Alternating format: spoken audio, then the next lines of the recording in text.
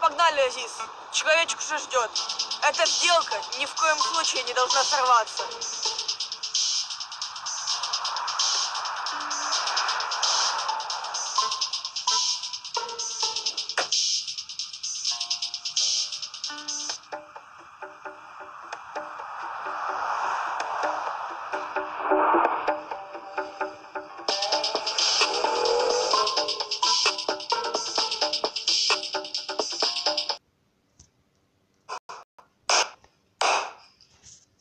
Наконец-то интересный выпуск.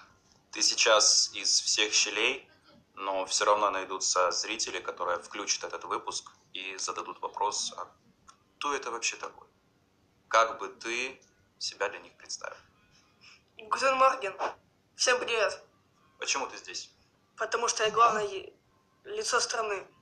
Где мы сейчас находимся? Это.